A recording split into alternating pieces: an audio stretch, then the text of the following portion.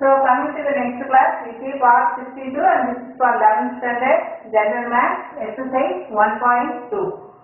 Uh, discuss the reflectivity, symmetry and the transitive. We see that uh, condition 2, we are given uh, the relation L related to M such that L is perpendicular to M. L அப்படிங்கிறது M க்கு பர்பண்டிகுலரா இருக்குது அப்படிங்கிறத நம்ம perpendicular அப்படிங்கிறப்ப 90 degree அப்படின்னு எடுத்துக்கணும் இப்ப ரிஃப்ளெக்டிவ்ல you are selecting only one element இல்லையா so L for L for L belong to P P means இங்க பிளேன் பிளேன் சர்ஃபேஸ் இப்போ இந்த ஒரு plane சர்ஃபேஸ்ல you are considering L L அப்படின்னு இருக்கிறோம் கண்டிப்பா இது வந்து ஆங்கிள் வந்து நைன்டி டிகிரி இருக்காது ஏன்னா ஒரு ஸ்ட்ரெயிட் லைனுக்கு அதே ஸ்ட்ரெயிட் லைனுக்கு இடையில நைன்டி டிகிரி வரது பாசிபிலிட்டி இல்லை. அப்ப அந்த மாதிரி பாசிபிலிட்டி இல்லைன்னா L comma L does not belong to R இது R வந்து இந்த ரிலேஷன் R அப்படிங்கிறது L comma N சச்சுல L is perpendicular to what? M கொடுத்துருக்கா L is perpendicular to M for all L comma M belongs to P இது வந்து நம்ம every time இந்த order பேர் வந்து நம்ம கண்டிப்பா மென்ஷன் பண்ணிக்கணும். ஸோ இது imply L Not related to L therefore R is not uh, reflective. So இந்த பாயிண்ட் வந்து எழுது then next we consider symmetry இல்லையா symmetryக்கு என்ன கண்டிஷன் நமக்கு for L comma M belongs to P என்ன கொடுத்துருக்கோம் given L related to L related to M implies நம்ம என்ன ப்ரூவ் பண்ணணும்? We want to prove M related to L அப்படின்னு prove பண்ணணும். இப்போ L related to M அப்படின்னா நமக்கு இமீடியட்டா என்ன முடியும்? என்ன எழுத முடியும்? ஆர்டர் பாரு L comma M belongs to P. அந்த பிளேன்ல வந்து அது எழுதும். That is uh, L is perpendicular to uh, what? M. இது வந்து நமக்கு எழுத முடியும். அப்போ inlet you are given L and this is perpendicular to M இது வந்து M and M is perpendicular to L அது ஃபிகர் பார்த்தாலே தெரியுது இதுக்கு ரெண்டுக்கு இடையில நைன்டி டிகிரி ஸோ எம்முக்கு எல்லுக்கு இடையில ninety degree it possible so to prove M equal to L அப்படின்னா L comma L belongs to இதை நம்ம அப்படியே திருப்பி எழுதுறோம் இல்லையா which implies which implies M comma L belongs to P.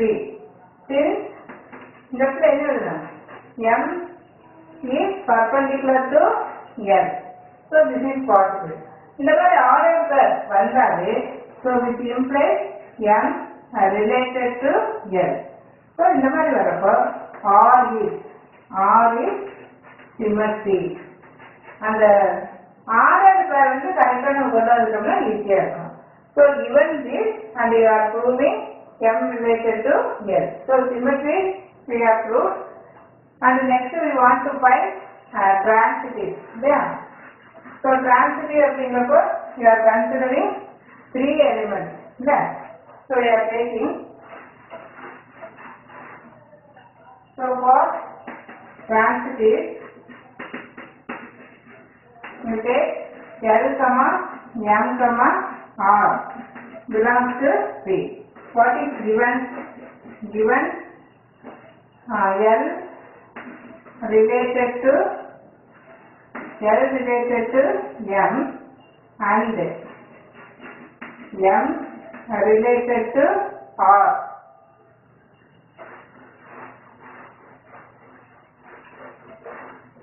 So which implies நம்ம என்ன பண்ணணும்? To prove to prove L related to ஆர்னு சொல்லி நம்ம ப்ரூவ் பண்ணணும். ஸோ இங்கே எல் ரிலேட்டட் டு எம் அப்படின்னா இது நம்ம கொடுத்துருக்கு. ஸோ இது நம்ம உடனே என்ன இருக்கலாம் எல் பர்பண்டிகுலர் டு எம் அப்போ எந்த ஆர்டர் சார் நமக்கு கிடைக்கும்? So which imply L comma M belongs to R அதே மாதிரி இதுவே என்ன வருது?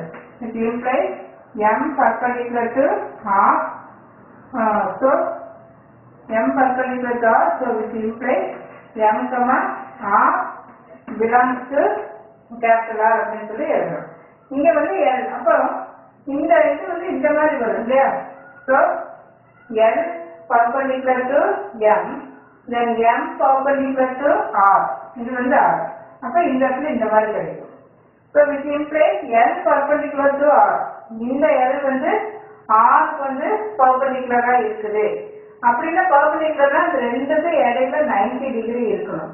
But this is not possible ஏன்னா இந்த ரெண்டும் மீட் பண்ணவே இல்லை. மீட் பண்ணாதான் 90 டிகிரி கிடைக்கும். அப்ப மீட் பண்ணாம இருக்கிறப்போ அந்த ஆங்கிள் என்னவாயிடுது ஜீரோ டிகிரி அப்படின்னு ஆயிடுது so this is not possible so here you are writing இது வந்து நம்ம ப்ரூவ் பண்ணோம் இல்லையா?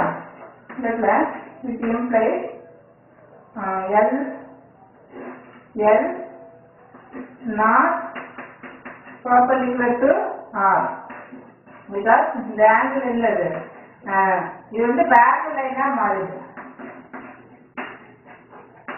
இது பார்க்கவே நமக்கு பேக் லைன் தெரிஞ்சிச்சு.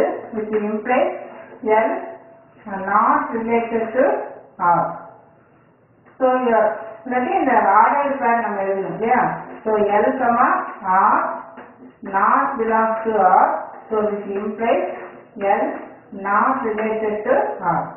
So நம்ம given this and this அஹ் இது வந்து என்ன வரும்? இங்க does not imply L அஹ் இங்க நாட் வந்து இந்த L related to R next இந்த இடத்துல L not related to R அப்படின்னு வந்துச்சு So which imply R is non-transitive. So டோட்டலாக நமக்கு என்ன கிடைச்சது? ஃபைனலாக கிடைச்சது R is reflective symmetry. Symmetry okay yeah. ஆனால் ரிஃப்ளெக்டிவ் வரல இல்லை. ஏன்னா நைன்டி டிகிரி இல்லை இல்லை. R is only symmetry R is only symmetry not reflective and transitive. R is not reflective and transitive, but only symmetry அப்படிங்கிற condition வந்து கிடைக்கும் thank you